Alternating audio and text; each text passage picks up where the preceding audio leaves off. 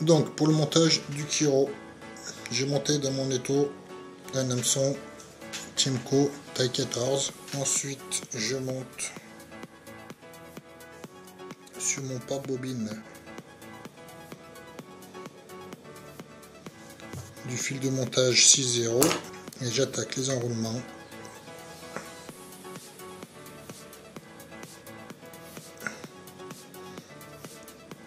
aux trois quarts de l'hameçon et je me dirige vers la courbure. Je coupe l'excédent de fil.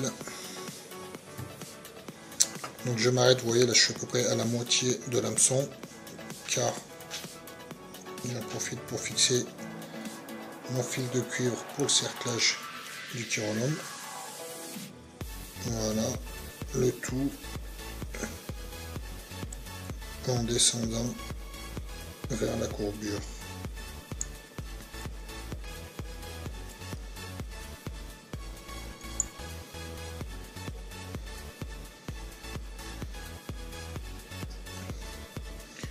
Ensuite, on repart vers le lait.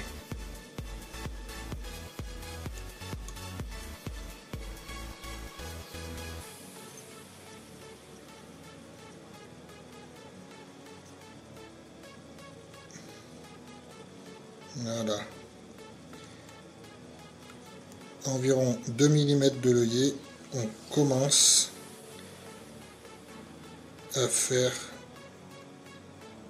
un petit cône avec sa soie, un petit ballon de rugby. Donc c'est ce qui fera un peu le l'avant-tête, on va dire, notre Kiro.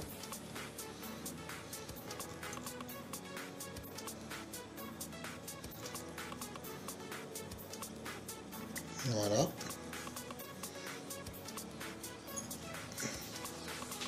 Je fais le, au whip finish pour arrêter ma soie. Hop. Et je coupe. Là. Ensuite, vous montez sur votre porte-bobine du fil rouge 6-0 et derrière l'œillet on attaque les enroulements pour faire notre tête.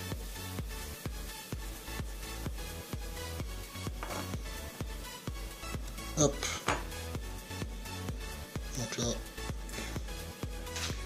je vais incliner un peu mon même son pour pas que ça glisse devant l'œillet. Voilà. On prend notre fil cuivre on enroule pour faire le cerclage en sens inverse des enroulements de soie.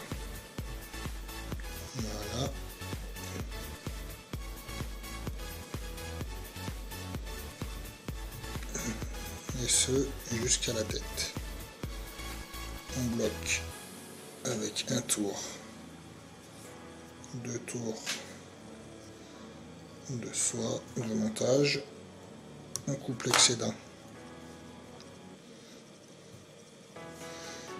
Et on fait notre tête du kiro avec la soie rouge.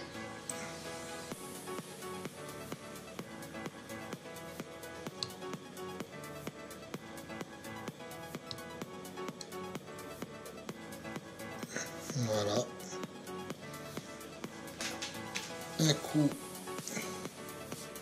de whip finish.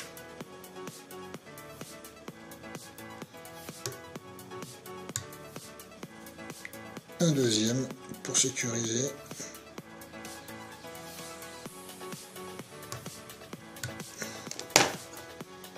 Et on coupe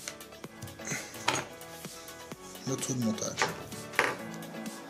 Donc là, le tiro est presque terminé. C'est un montage très facile à faire donc euh, parfait pour les débutants. Ensuite, donc on va la fignoler avec la résine UV. Donc la résine UV, on en met une petite goutte sur le dessus. Hop. Et avec une aiguille, on vient étaler uniformément de partout notre résine.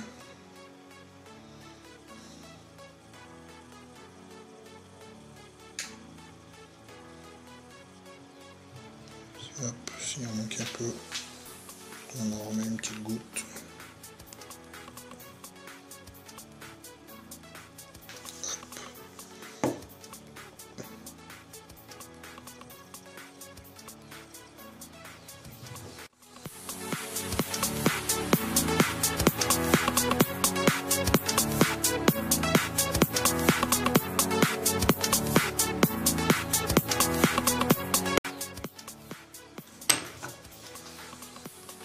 Hop j'ai un petit fibre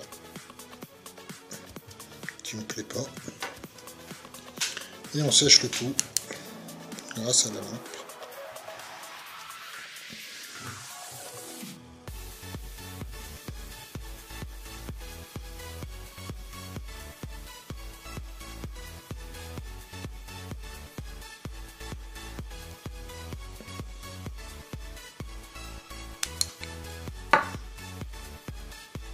Et voilà, notre tiro est terminé. Je sais pas si vous la voyez bien là. Je suis désolé de la qualité de la vidéo. Hein. C'est ma première vidéo où je parle du moins. Et croyez-moi, parler une caméra c'est pas facile.